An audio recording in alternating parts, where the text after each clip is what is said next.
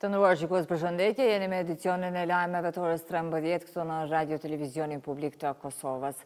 Policia e Kosovës në bazë të të dhënave inteligjente dhe provave të detajuara nga AKI ka arrestuar dy persona me inicialet B.B dhe M.Ç shtetas të Kosovës me nacionalitet shqiptar. Sipas informacioneve të siguruara nga RTK, arrestimi ka ndodhur në Ferizaj, nën dyshimet se ata kanë qenë të angazhuar nga BIA serbe. Aksioni i Policisë së Kosovës po vazhdon, ku edhe po bastisen pronat e të dyshuarve. Ata dyshohen se për shumë vite kanë bashkëpunuar me strukturat e inteligjencës serbe. RTK sapo t'i marrë informacionet e plota rreth këtij rasti dhe aksionit në fjalë, do t'i publikojë ato për opinionin.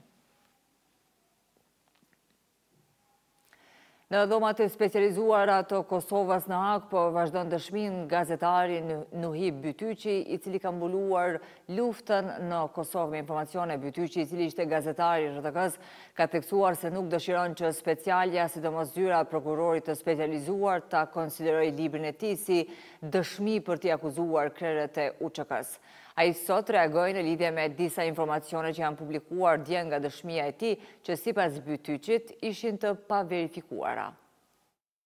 Dje prokurori Halling më shqetësoi me disa informacione të paverifikuara nëpër mediat e ndryshme, për të cilat unë nuk kisha njohuri deri më dje.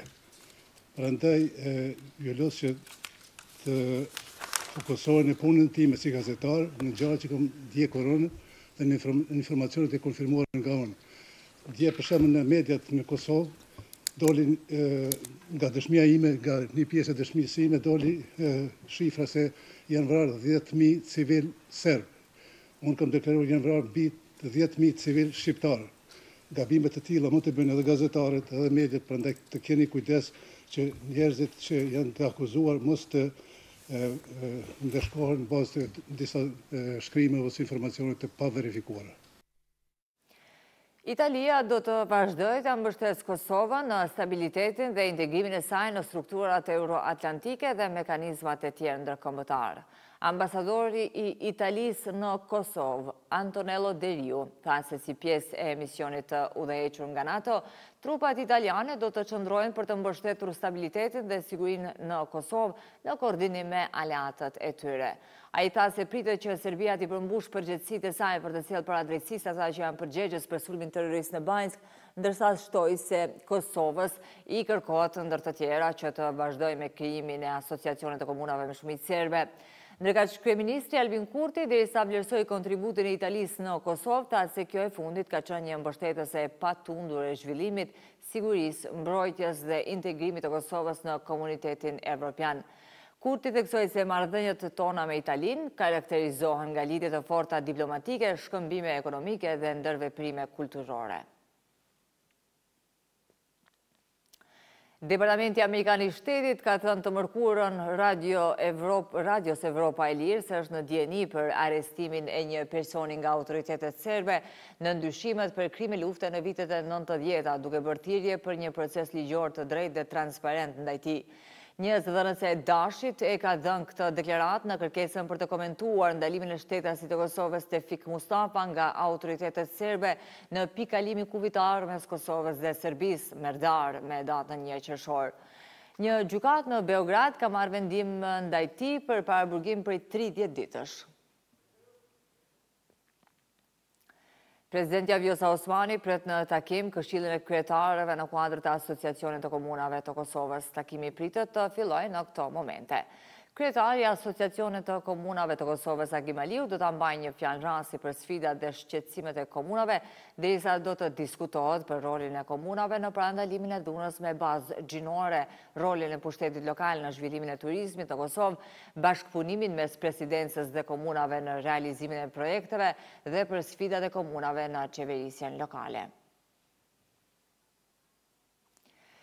Misioni i OSBE-së në Kosovë në raportin e publikuar ka përfshirë monitorimin e proceseve gjyqësore për lëndët e krimit të organizuar dhe korrupsionit. Aty janë analizuar 52 lëndë që misioni ka monitoruar në periudhën nga 2021 deri në vitin 2024. Shefi i misionit të OSBE-së, më falni, në Kosovë, Michael Davenport, tha se luftimi i krimit dhe korrupsionit është çështje jetike për sundimin e ligjit, ndërsa ministrja e Drejtësisë, Albulena Haxhiu, tha se ky raport ka qenë një proces i gjatë dhe i detajuar, që ka përfshirë edhe angazhimin e institucioneve të vendit në analizimin e situatës reale në vend. Ambasadori i BE-së në Kosovë, Tomas Szunyog, tha se Kosova po vazhdon të përballet me stërzgjatje të rasteve gjyqësore. përmirësim të konsiderueshëm në publikimin e aktgjykimeve nga Gjykata e Apelit vitin e kaluar krahasuar me vitet paraprake. Po ashtu, raporti thekson edhe shembuj të praktikës së mirë në trajtimin e rasteve të profilit të lartë. E rëndësishme gjithashtu ishte deklarata e përbashkët e zotimit e nënshkruar nga palët kryesore, përmes së cilës palët nënshkruese nënvizuan zotimin e tyre për reformë në sektorin e drejtësisë dhe forcimin e sundimit të ligjit. Përkundër të gjitha këtyre, perceptimi publik dhe sondazhet e perceptimit publik në tërë rajonin paraqesin një mungesë të besimit në gjyqësor, me të anketuarit duke shprehur dyshime përsa i përket aftësisë së gjyqtarëve dhe prokurorëve për të kërkuar llogari nga zyrtarët e korruptuar. Gjatë këtyre tre viteve kemi punuar me përkushtim. Gjithë kohën e potencialin që e kemi pasur e kemi adresuar në reformën në drejtësi dhe në luftën kundër krimit të organizuar dhe korrupsionit. Ka arritje, ka rezultate pozitive, por jam e vetëdijshme që kemi ende shumë punë për të bërë. Dhe këtu unë edhe sot thras sistemin e drejtësisë që të jemi bashkë në luftimin e këtyre fenomeneve negative, sepse është e rëndësishme për qytetarët e Republikës së Kosovës, për shtetin tonë që Kosova të jetë shtet i së drejtës, që të gjithë qytetarët e Republikës së Kosovës të jenë të barabartë dhe askush të mos jetë mbi ligjin. Të ketë veprime serioze në sidomos, por jo vetëm, në lëndët që ndërlidhen me korrupsionin e krimin e organizuar. Mes konstatimeve ose gjetjeve dua të theksoj një çështje që është kohëzgjatja e procedurave, për shkak të një numri të lartë të seancave joproduktive, kohëzgjatja e madhe e seancave, pastaj me shkallën e lartë të lirimeve nga aktakuza, janë aspektet. më të dukshme që që merr vëmendjen e e qytetarëve, duke ulur kështu edhe besimin e qytetarëve në sektorin e drejtësisë. Ia vlen të kujtohet një citat, Drejtësia e vonuar është drejtësi e mohuar. Deputeti Haki Abazi e ka publikuar një kontratë ku sipas tij, në vitin dy mijë e njëzet e një është nënshkruar nga Qeveria e Kosovës me kompaninë RAD në veri, në vlerë prej pesëqind e shtatëdhjetë e katër mijë eurosh. Ai thotë se kjo kompani ka lidhje me Millan Radojçiç, duke thënë se me këtë vërtetohet bashkëpunimi i qeverisë me të. Sipas dokumentit, dy kompani janë në pronësi të Radule Steviç, i cili është mik i Millan Radojçiç. Steviç është një ndër personat që është futur në listën e sanksioneve nga Shtetet e Bashkuara të Amerikës. Në seancën administrative të mbajtur me datën 5 qershor të këtij viti në përputhje me nenin 114 pika 5 të Kushtetutës së Kosovës, gjyqtarët e Gjykatës Kushtetuese kanë rizgjedhur kryetaren aktuale të Gjykatës, Gresa Caka Nimani, për një mandat të dytë në krye të Kushtetuesës.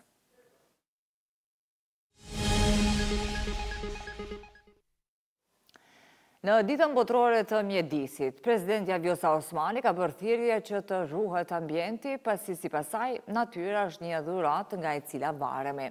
Osmani përmes një videomesazhi ku paraqitet natyra e Kosovës tha se ruajtja e mjedisit është një sfidë e madhe.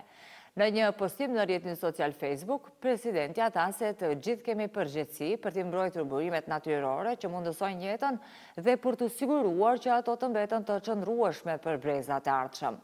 Ndërkaq, Dita Botërore e Mjedisit është caktuar dyzet e pesë vjet më parë nga Asambleja e Përgjithshme e OKB-së me qëllim për të shtuar vetëdijen rreth çështjeve të mjedisit dhe për të tërhequr vëmendjen politike ndaj këtyre çështjeve, si dhe për të nxitur veprimin individual në këtë drejtim. UNICEF në bashkëpunim me Ambasadën Suedeze në Kosovë dhe me OJQ-në PEN, përmes një ekspozite kanë shënuar Ditën e Ambientit.